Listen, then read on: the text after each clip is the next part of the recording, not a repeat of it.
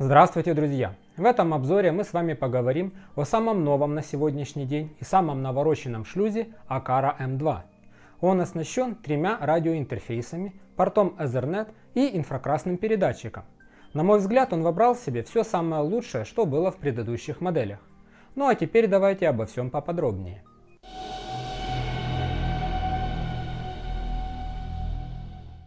Модель Akara HM2 Gen01. Беспроводные интерфейсы Wi-Fi 2,4 ГГц, ZigBee 3.0, Bluetooth 5.0 BLE. Проводное подключение Ethernet 100 Мбит.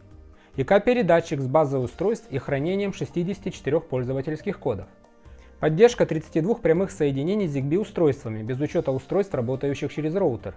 Система управления Akara Home Apple HomeKit. Диапазон рабочих температур от минус 5 до плюс 50 градусов Цельсия размер 10 на 3 см.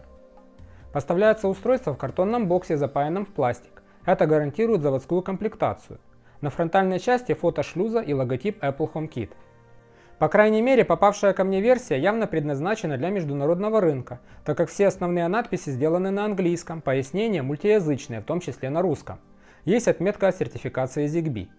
Давайте заглянем внутрь коробки. Сразу под крышкой нас встречает хорошо знакомый всем яблоководам QR-код подключения устройства к Apple HomeKit. Вот что представляет из себя комплект поставки. Шлюз, о нем мы будем говорить дальше подробнее, кабель питания USB, microUSB и довольно толстая мультиязычная книжечка-инструкция. В ней есть разделы на русском языке. Кстати, тут нет ни слова о радиоинтерфейсе RF433, информация о котором проскакивала в различных источниках и по данным которых я публиковал анонсы в своем телеграм-канале. Информации не особенно много, но она полезна, например о том, что означают различные статусы светодиодного индикатора, или описание сброса устройства при десятикратном нажатии на кнопку шлюза.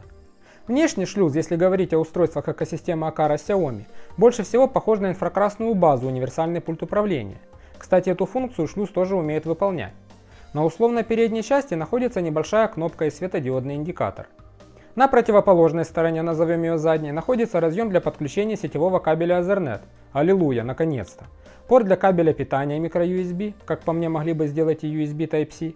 И порт USB-A. Согласно инструкции, это, как говорится, на вырост, пока функция для него не предусмотрена.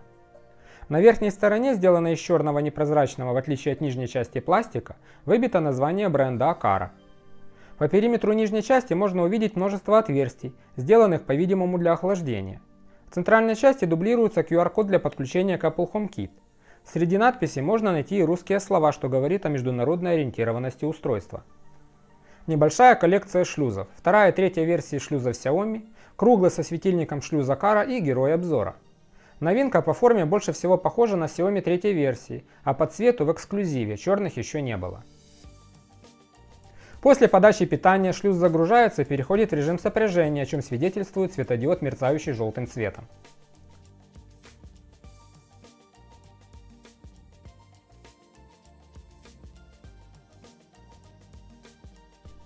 Начнем с приложения Akara Home. На дату публикации обзора подключать к системе Mi Home героя обзора нельзя.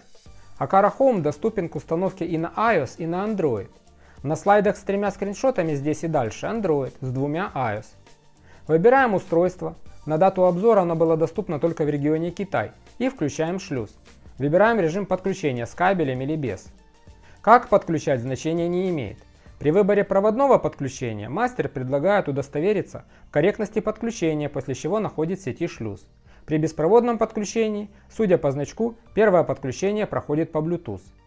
Далее, если был выбран беспроводный метод, то запрашивается название сети 2,4 ГГц и пароль, а если проводной, то этот шаг пропускается. Далее на шлюз передаются параметры подключения, после чего нужно немного подождать, пока устройство подключится к сети. При подключении на iOS на этом этапе запустится мастер подключения к Apple HomeKit в режиме моста. Для этого нужно отсканировать код на коробке или нижней части шлюза. После добавления шлюза в систему прилетела новая прошивка – на дату публикации последняя версия, на которой проведены все дальнейшие действия, 3.06.005.05.15. При выборе шлюза в перечне устройств запускается его плагин, который встречает нас диалогом добавления нового инфракрасного пульта, аналогично ИК-базе. Кликнув по изображению трех точек в правом верхнем углу, попадаем в меню настроек устройства. Большая часть опций стандартная. Кликнув по строке настройки, попадаем в диалог языка и громкости – Язык по умолчанию у меня был из коробки английский, есть еще пара китайских наречий. Перейдем к подключению дочерних устройств. В принципе, какое устройство выбрать из перечня особого значения не имеет, так как любое из них приводит к включению режима сопряжения на шлюзе. Разница только в том, какую картинку вам покажет мастер, каким образом перевести в режим подключения выбранное вами устройство. В этом случае я подключил соответствующую картинке квадратную кнопку Акара. После подключения нужно выбрать название, локацию и вид кнопки. Для данной модели доступно только два действия, однократное и двукратное нажатие. Кроме кнопки я подключил датчик открытия Midze, несмотря на то, что его нет в списке устройств. Я ткнул в первое попавшееся, чтобы перевести шлюз в режим сопряжения, а потом скрепкой зажал кнопку на датчике, пока он не моргнул три раза и шлюз его не увидел. Далее перешел к пульту дистанционного управления. После того, как нажать на кнопку «Добавить PDU», плагин открывает базу устройств по типам. Здесь я выбрал тип телевизор и модель Xiaomi. Тип устройства выбираете тот, который вам нужен в данном случае. Тут необходимо подобрать вариант, при котором телевизор, ну или то устройство, которое вы подключаете, отреагирует на команду с шлюза. После этого из базы подтягивается весь пульт, который сохраняется в виде отдельного плагина. При выборе пользовательского режима шлюз можно обучить командам с пульта донора, каждую кнопку по очереди. Это поможет, если вы не сможете подобрать устройство из базы. Согласно заявленным параметрам, шлюз может хранить до 64 пользовательских кодов. В автоматизациях шлюз работает как действие, доступны действия с созданными пультами и самим шлюзом. Шлюз может воспроизводить и останавливать выбранный тревожный сигнал или рингтон, выбор довольно большой. Таким образом можно устанавливать звуковые сигналы как реакцию на какие-то внешние воздействия, например датчик затопления, или использовать его в качестве, скажем, дверного звонка. А операции с пультами позволят запрограммировать последовательности действий с пультом по одной кнопке. Вернемся к HomeKit. Синхронизация с ним происходит либо на этапе подключения Kakara Home на iOS, либо просто через добавление новых устройств и сканирование QR-кода. Шлюз прописывается как мост, кроме этого добавляется сущность охранная система. Система сообщает о стандартных для такого типа устройств автоматизациях и добавляет его в систему. На всякий случай скажу, мостов может быть много. Это и шлюзы, и, например, Sprout Hub, и интеграция, пробрасывающая сущности из Home Assistant. HomeKit появилась охранная система, работу которой мы с вами рассмотрим в этом обзоре. Пока запомним ее статусы, они аналогичны тем, что в Akara Home. Шлюз пробрасывает HomeKit и подключенное к нему дочернее устройство. Квадратная кнопка, тут она имеет те же два варианта нажатия и может участвовать в автоматизациях. Например, включать и выключать заведенную в HomeKit лампу, которой, кстати, нет в Akara Home. Это взаимодействие чисто HomeKitовское. Это один из способов заставить работать вместе устройства из разных экосистем. Аналогично кнопке тут появился и датчик открытия Midze, который тоже можно включать в автоматизации, но я его добавил с другой целью – протестировать работу охранной системы. Настройку охранной системы на базе шлюза Akara M2 нужно проводить в родном приложении. В верхней части окна плагина есть пункт «Охранная система». Запускаем мастер настройки, в нем говорится о четырех режимах охраны, но в данном случае есть только три – дома, не дома и ночь. Выбираем любой из режимов и переходим в его настройку. Первое – это задержка перед постановкой, например, чтобы успеть уйти из квартиры. В ночном режиме, например, такую задержку можно отключить.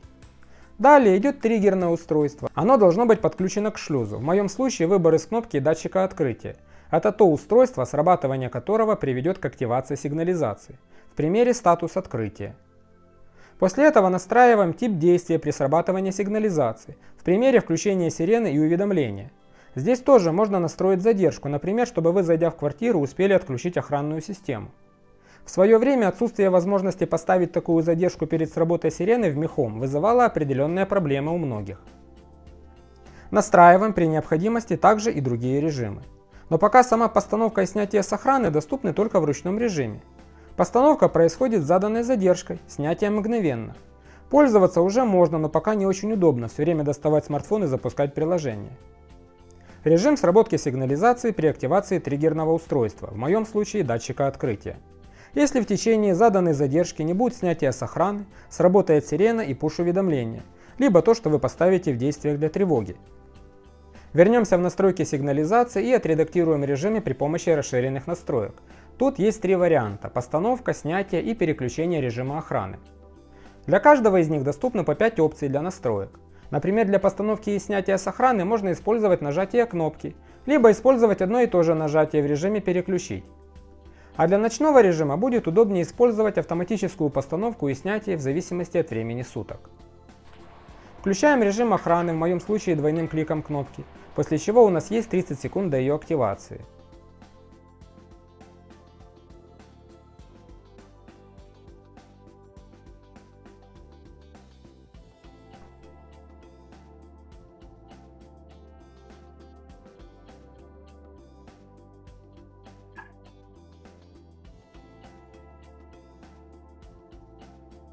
Открываем дверь, срабатывает датчик открытия и включается задержка в 30 секунд до срабатывания.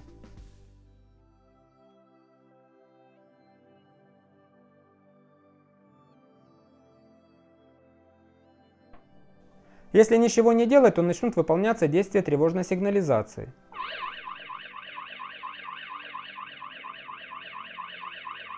Отключаем, согласно заданному условию, одиночным кликом на кнопку. Охранная система в Apple HomeKit полностью синхронна с Akara Home, тут те же 4 режима работы. Но есть и свои возможности, например сценарии ухода и прихода в дом. На них можно поставить постановку и снятие с охраны, что снимет необходимость управлять этим вручную кнопкой или из приложения. Но эта опция доступна только владельцам устройств на iOS. При выполнении сценария «Прихожу домой» охранная система синхронно отключается в HomeKit и Akara Home. При уходе из дома охранная система активируется тоже синхронно. Сработка датчика открытия. Он появляется в верхней строке устройств HomeKit. Включается, если установлена задержка для срабатывания. Сработка сигнализации и в Akara Home, и в Apple HomeKit. И, наконец, отключение сигнализации, тоже синхронно. Причем все действия с охранной системы могут применяться и для автоматизации, и постановка, и снятие, и сработка. Например, при постановке на охрану можно выключать освещение, а при активации наоборот, включать. Привет, Сири. Режим ухожу из дома. Работа охранной системы в HomeKit. Задержки на постановку и сработку соответствуют заданным в Akara Home.